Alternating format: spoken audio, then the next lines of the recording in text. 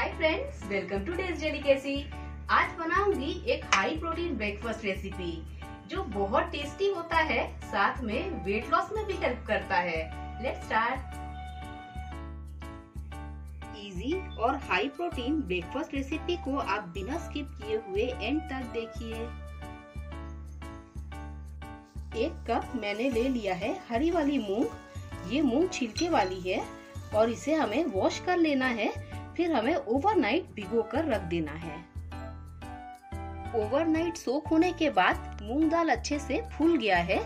इसका एक्स्ट्रा पानी मैंने सब निकाल दिया है। अब हम ले लेंगे एक मिक्सी का जार, जिसमें मैं यूज़ कर रही हूँ चार से पाँच हरी मिर्ची।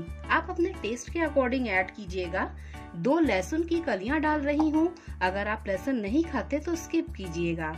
ये डाल रही हूँ मैं अदरक। अब मूंग दाल को इसमें डालना है और कम से कम पानी का यूज़ करते हुए हमें इसका एक पेस्ट बना लेना है।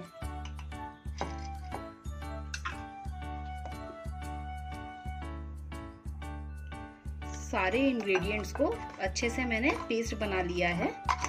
अच्छे से पेस्ट चुका है। अब बाकी बचे हुए दाल को भी हम पीस लेंगे। इसको थोड़ा दरदरा पीसेंगे।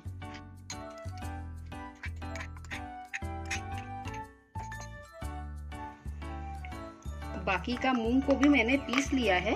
अब इसे हम कंटेनर में निकाल लेते हैं।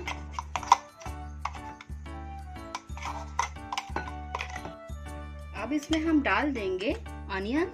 एक, बड़ा साइज़ का अनियन लिया है, मैंने इसे फाइन चॉप कर लिया है। ऐड कर रही हूँ क्वार्टर चम्मच हल्दी। सॉल्ट ऐड कर दीजिए अपने टेस्ट के अकॉर्डिंग ऐड कर दीजिए आधा चम्मच जीरा। टेस्ट को अगर और एनहेंस करना है तो हमें डालना होगा lemon half half lemon juice मैंने डाल दिया इसमें। अब अच्छे से हमें इसे मिक्स कर लेना है।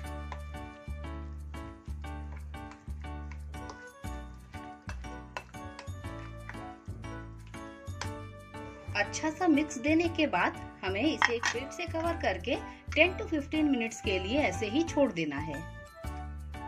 एक हमने ले लिया है अपम पात्र। इसमें थोड़ा थोड़ा सा ऑयल ऐड कर दूँगी। अगर आपके पास अपम पात्र नहीं है तो आप इडली बनाने वाला जो पात्र होता है, उसमें भी आप बना सकते हो। बैटर को डालने से पहले मैं थोड़ा थोड़ा करके तिल ऐड कर रही हूँ। देखने में भी बहुत अच्छा लगेगा और हेल्दी भी है।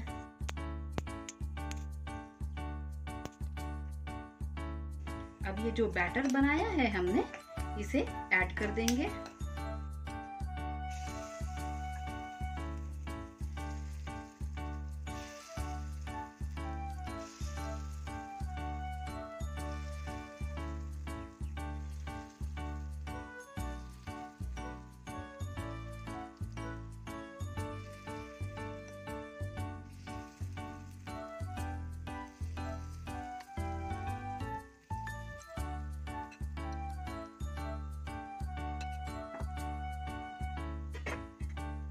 बैटर को डालने के बाद इसे हम कवर कर देंगे।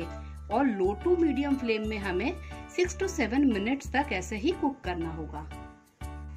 सिक्स मिनट हो गए हैं। लिड को मैं रिमूव कर देती हूँ। अब हम ऊपर से थोड़ा सा ऑयल ब्रश कर देंगे।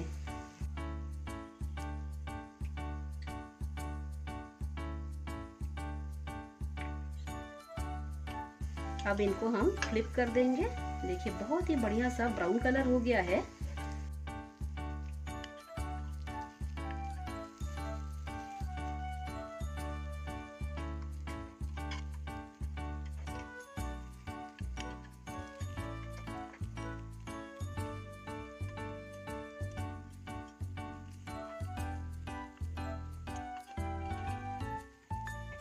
फाइव मिनट्स के लिए हमें इस तरफ़ भी ऐसे कुक कर लेना होगा। फाइव मिनट्स हो गए हैं लिड को रिमूव कर देती हूँ। बहुत ही बढ़िया से कुक हो चुके हैं। अब इन्हें हम सर्व कर देते हैं। इधर भी ब्राउन हो गया है। गैस का फ्लेम ऑफ़ कर देते हैं और इसकी प्लेटिंग कर देते हैं।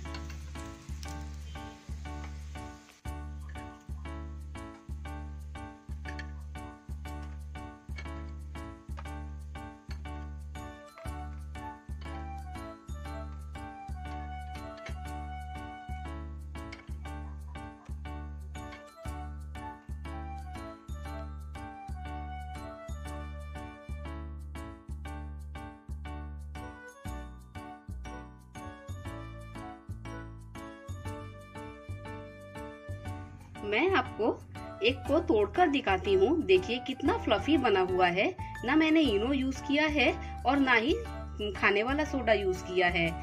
आप भी इसी तरह ज़रूर ट्राई कीजिए। बहुत ही ज़्यादा टेस्टी बना है। आप भी ट्राई कीजिए। रेसिपी अच्छी लगे तो लाइक कीजिए। मेरे चैनल को सब्सक्राइब कर दीजिए। Thanks for watching this video